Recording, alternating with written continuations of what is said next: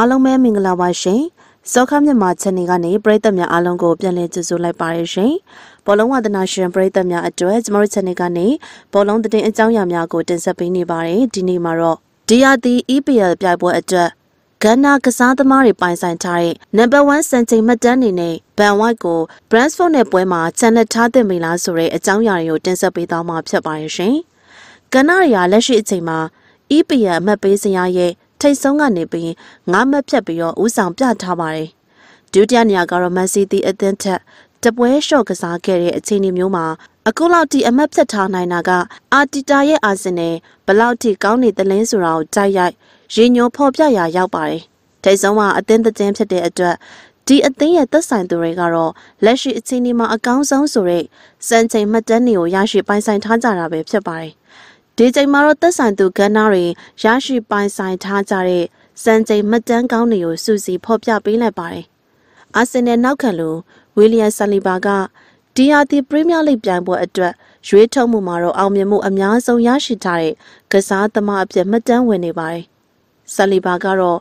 ဖြတ်ထုတ်မှု62ကြိမ်အထိရှိပြီးလိပြိုင်ပွဲတွေမှာတော့အခြားသောဘယ်ကစားသမားထက်မဆိုအနည်းဆုံး17ကြိမ်အသာရနေရဖြစ်ပါတယ်။ အာဆင်နယ်ညာတောင်ပန်တိုက်စစ်ကစားသမားလေးဘူဝါယိုဆာကာကလည်းဒီယာတီပရီးမီးယားလိပြိုင်ပွဲမှာတော့ပြန်ပက်ရဲ့ပက်နတီအေရီးယာအတွင်းကိုတော့ဘောလုံးနဲ့အတူအများဆုံးဝင်ရောက်နိုင်တဲ့ကစားသမားပြန်မတန်းဝင်နေပါတယ်။ဆာကာကပြန်ပက်ရဲ့ပက်နတီအေရီးယာထဲကိုစွတ်စွပေါင်း46အထိဝင်ရောက်ထားခဲ့တာလည်းဖြစ်ပါတယ်။ဂန်နာနောက်ခံကစားသမားချင်းဂါဘရီယယ်ကလည်းဒီယာတီအီပီယာပြိုင်ပွဲအတွက်နောက်ဆုံးတမ်းဖြတ်ထုတ်မှု6ကြိမ်အထိပြုလုပ်ထားနိုင်ခဲ့တာဖြစ်ပါတယ်။ ဒါကတော့ပရီးမီးယားလိမှာသာမကဘဲနဲ့ဥရောပထိပ်သီးလိ၅ခုမှာပါ အကောင်းဆုံးအဖြစ်မှတ်တမ်းဝင်နေကြတာဖြစ်ပါတယ်။ဒီယာတီပရီးမီးယားလိပြန်ပွဲရဲ့အောင်မြင်တဲ့ပြုလုပ်ဖြတ်ကျော်နိုင်စွမ်းအကောင်းဆုံးသောကစားသမားကတော့မာတင်နယ်လီဖြစ်ပါတယ်။ဂါဘီယာအောင်မြင်တဲ့လိန်ခောက်ချက်ပေါင်း34ချိန်အထိပြုလုပ်ထားနိုင်ပြီးတော့ပြိုင်ပွဲရဲ့အကောင်းဆုံးဖြစ်ကြောင်းပရီးမီးယားလိရဲ့ official မှာ Everton နဲ့ပွဲစဉ်မတိုင်ခင်ကဖော်ပြခဲ့တာပါ။ ကစားသမားတွေတင်မကပါဘူးအားလုံးသိရဲ့အတိုင်းပါပဲအာဆင်နယ်နီးပြ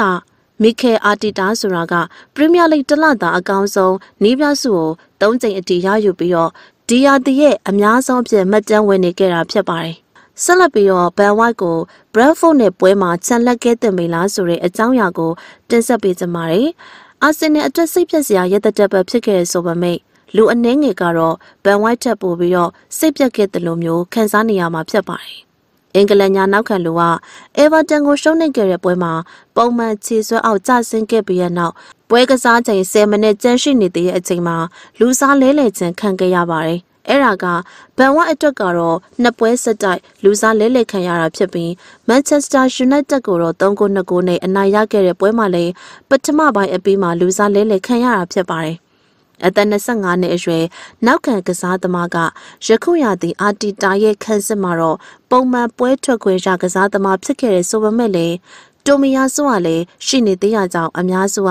ညာနောက်ခံနေရာကိုအပြောင်းလဲလုပ်ဖို့အချိန်တန်ပြီလားလို့မေခွန်းထုတ်ကြပါတယ်။ဒီမေခွန်းနဲ့ပတ်သက်ပြီးတော့အာတီတာကတော့အဖြစ်မပေးခင်မှာအာဆင်နယ်ကလောက်ရှင်ကာယာကင်းနကစပိန်လူမျိုးနီးပြအနေနဲ့ဘာလို့တင်တယ်လဲဆိုတာကိုပြောပြခဲ့ပါတယ်။ လူရီယာဒီယာတီမှာဘန်ဝရဲ့ညာနောက်ခံကစားသမားအဖြစ်အပြည့်အဝကစားခဲ့တဲ့ပထမဆုံးရာသီဆိုတာကိုမေ့နေကြတယ်။အာတီတာရဲ့ရေရှည်စီမံကိန်းကသူ့ကိုအဲ့ဒီနေရာမှာပြောင်းကစားခိုင်းမှုဖြစ်ကောင်ဖြစ်နိုင်တယ်ဆိုပေမဲ့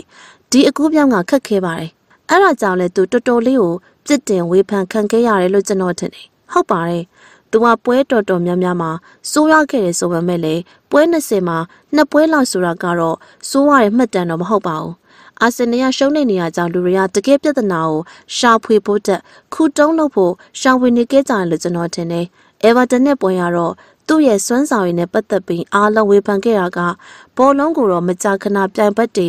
ခြေထောက်ထဲမှာပဲထားခဲ့လို့ပါ။ဒါပေမဲ့စင်ချန်ကိုရဲ့ပေးပို့မှုအောင်မြင်မှုရှာခိုင်တော့က